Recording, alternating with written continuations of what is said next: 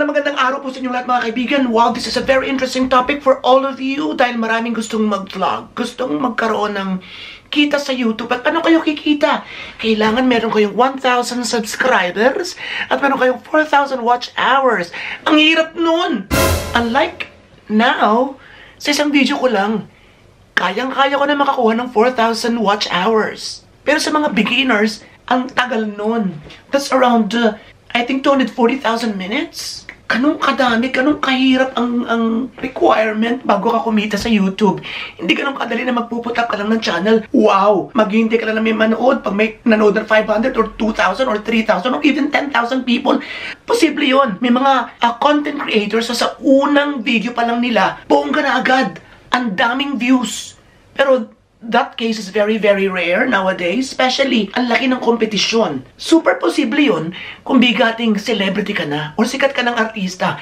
Madaling-madaling kumuha ng views. Ang daling kumuha ng subscribers at ang daling makaipon ng watch hours. Now, Huwag na tayo magpatumpik-tumpik pa. I'm gonna give you one of the most requested topics mula sa akin, which is to provide you with information on how to get a lot of subscribers fast. So whether you are looking forward to achieving your very first 1,000 subscribers or marami ka ng subscribers but you want to grow it further, then this video is for you.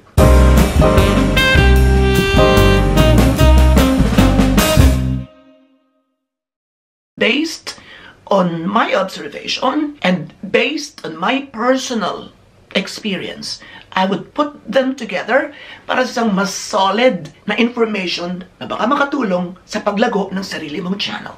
I am speaking as someone who has 80,000 subscribers on YouTube. So, hindi man ganun kalaki kagaya ng mga bigating mga vloggers. I think meron akong konting puntos para magsalita sa inyo tungkol dito. And that's aside from 160 plus thousand sa Facebook and a few thousands sa aking Instagram. So, all in all, sa dating nating ito, meron tayong papalapit na. We are fast approaching 300,000 combined followers sa buong social media. Nakakatuwa di po ba? Kung kinaya ko, kaya mo. Start na tayo. Tarang! Inilista ko, oy. Meron tayong 12. Number one is interesting necessarily in order, kung ano lang yung naisip ko kanina. Interesting, catchy thumbnails. Eh ano ba yan? Yan yung pinaka-poster ng ating bawat video. So mas creative, mas colorful, mas bongga. Dapat nakaka-create siya ng interest, dapat nakaka-create siya ng awareness, dapat is nakaka dapat nakaka-evoke siya ng excitement sa ating mga manonood. Ako, for the past year, parang na-identify na yung aking mga thumbnails sa mga sa pagkakaroon ng ano ng ng ng balloon, you know what I mean? Yung ano bang tawag doon? Speech balloons. Ah, di ba yung may, may ganun? Para sa comics, tapos nandun yung aking salita na, Wow! Bongga! Amazing!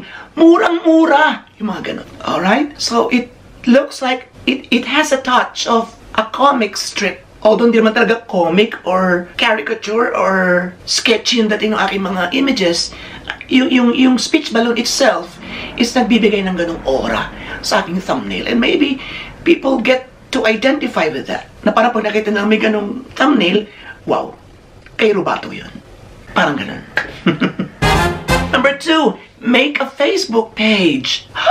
okay, that's based on experience. Actually, noon ako sa YouTube, dun sa pageant channel ko, uh, and then, nung nagkaroon ako ng isang hit sa Facebook bilang ako lang, dun ko lang naisipang gumawa ng sarili kong page. Hanggang sa dumami na dumami yung subscribers ko doon. Pero pinag-usapan natin na YouTube, kaya hindi ko naiisa-isihin pa kung paano ko nag, naka-generate ng ganong karaming uh, followers o likers sa aking Facebook page. Sabihin na lang natin na malaki na itulong o malaki na itutulong kapag meron kang Facebook page or Instagram account or website ang Facebook talaga malaki na itulong sa akin. Kasi, yeah, because it can never be denied na nandun na lahat ng mga tao mula sa iba't ibang sektor ng lipunan. Nandun yung magkakapamilya, andun yung magkakaibigan, andun yung mga uh, masa, andun yung mga middle class, andun yung mga mayayaman. And, you know, we are all there together. It's more personal, family-oriented. Yun, kaya that's why mas malaking chance doon na makakuha ka doon ng mas maraming views at mas maraming followers. Now, pag marami ka ng followers sa Facebook, pwedeng pwede mo silang mahikayat na supportahan ka rin sa YouTube. Ganun ang nangyari sa akin. And with 165,000 and counting na counting na followers sa Facebook, confident ako na patuloy pa rin aangat ang aking account or aking channel sa YouTube. Number three, jump on a trending topic.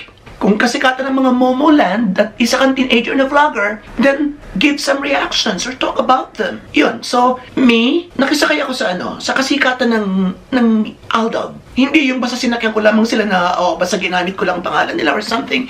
Hindi, kundi I made reaction videos tungkol sa kanilang mga pelikula. And para naman hindi magalit sa akin yung mga kalaban, yung mga katunggali nila, yung mga fans na ng ibang love teams, gumawa rin ako ng para sa kanila.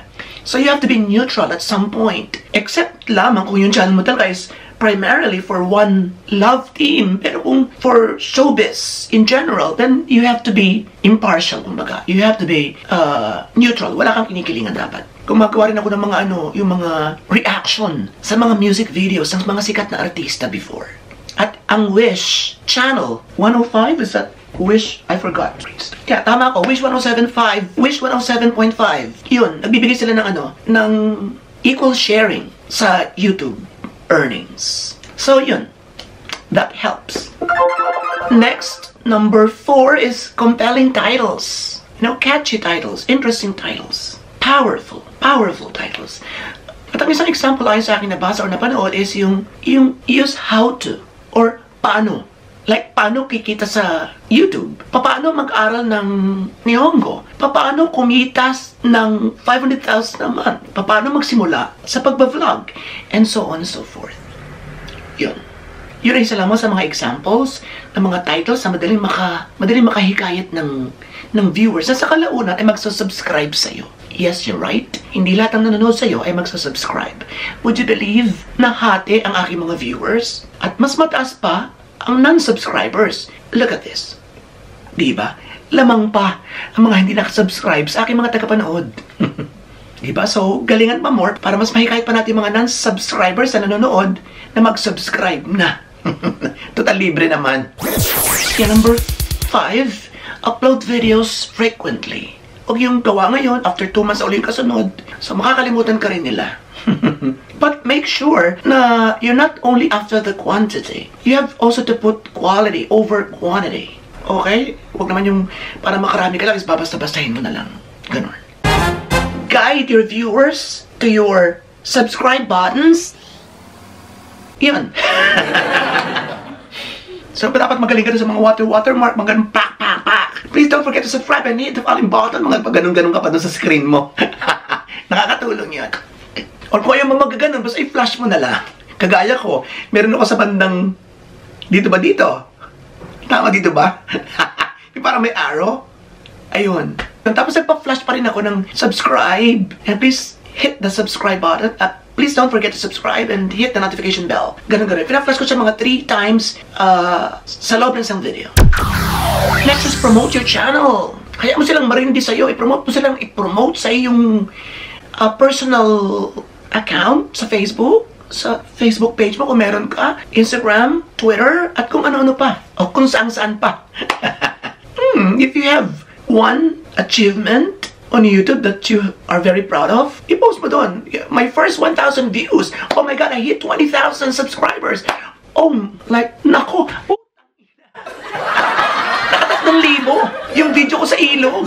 Mga ganun. Ayaw silang mataranta. Okay, yun ay bahagi ng, ng marketing strategy. Ah, kahit naman mga pelikula, di ba, sa mga Metro Manila Film Festival, if you are number one, you would want this to be known by the general public because it would push them, those who haven't watched it, to watch that film of yours. Di ba? Makakahikayat yun. Naku, teka, pang isang sinyahan lang to. Doon tayo sa top grosser. Mukhang maganda yun. Diba? That's why lagi kang makakita na one is number one. We are number one. We uh, we got 4 million. We are the, the, the number one top grosser for the first day. Mga ganun-ganun, di ba? It's part and parcel of the competition on social media. So, gamitin mo lahat ng iyong, ano, ng iyong kayang gawin para ma-promote pa more ang iyong channel. Another tactic is be recognizable. Ako, hindi ko pinaghandaan or hindi ko iniready o hindi ko sinadya yung ano, yung aking, yung aking pagsusot ng hats. Tapos na samahan pa yung aking mga ah, tawa-tawa, mga lahalakhak, yun. So parang pag nakakita sila ng vlogger na may hat, tapos naka-shades, tapos naka-bungish-ngish, si Robatology yun. At unti-unti mo nalang mararamdaman na kilala ka na at unti-unti nadadagdagan yung iyong listahan ng mga taga-subaybay. Next is, hindi ko pa nagagawa ito talaga. Nung nagsisimula ako, hindi talaga ako namimigay ng kung ano-ano. Ngayon, marami mga namimigay ng ng self na cellphone. Meron, may namimigay ng cellphone, pero yung malalaking bigatin, yung, mal- yung bigating ano na, vloggers. Isimula pa lang, namimigay ng mga, ano bang binibigay nila? Mga ano, mga, mga, mga regalo, like mga, ano ba? Load, diba?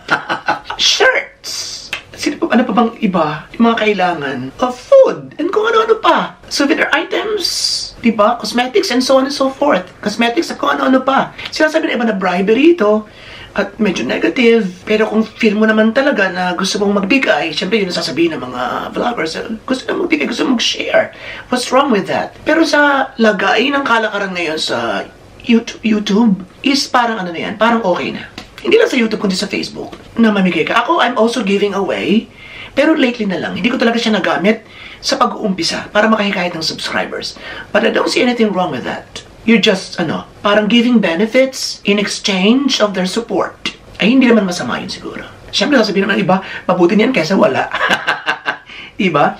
So, I have never tried that.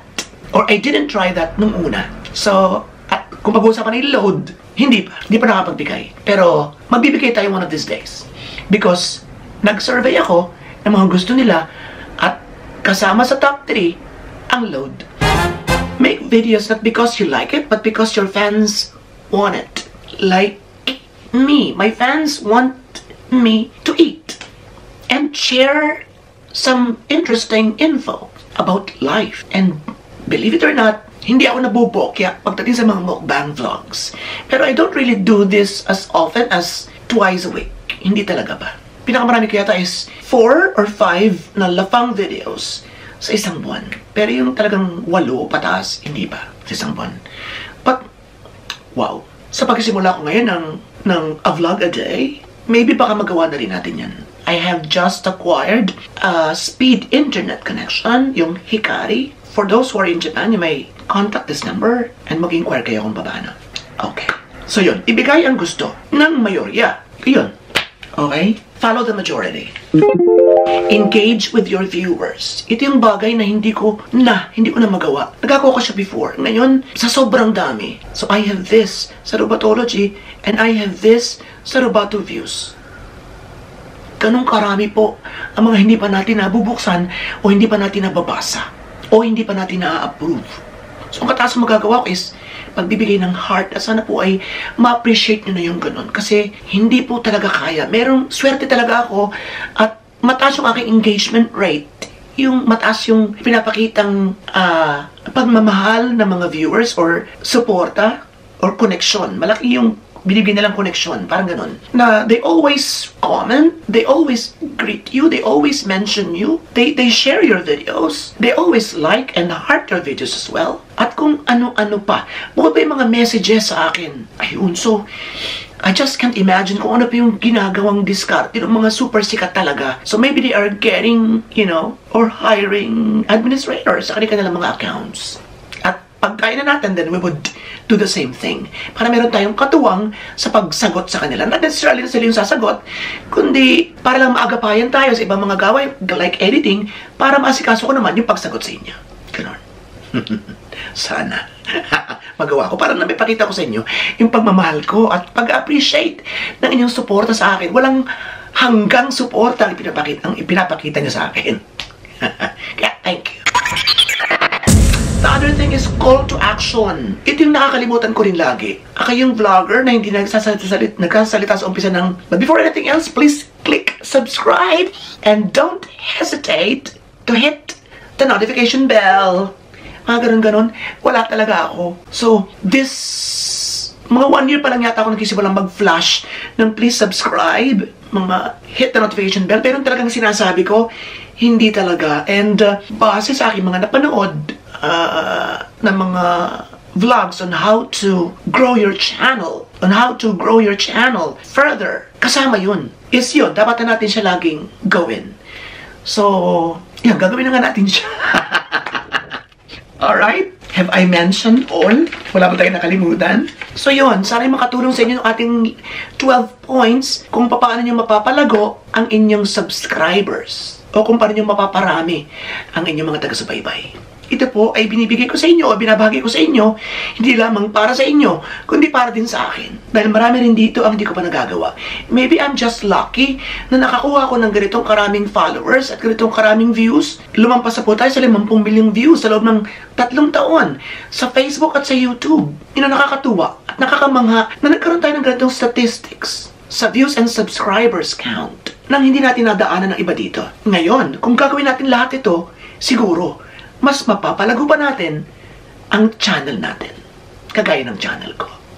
Robatology. Ayun. So, good luck sa mga baguhan na gustong maabot na ang 1,000 subscribers. Sana makatulong sa inyo, ang, kung hindi man lahat ito, yung ilan dito. Mamili na lang muna kayo nung kaya nyo nang gawin as fast as possible para kumita na rin kayo. Maraming salamat po sa inyong lahat.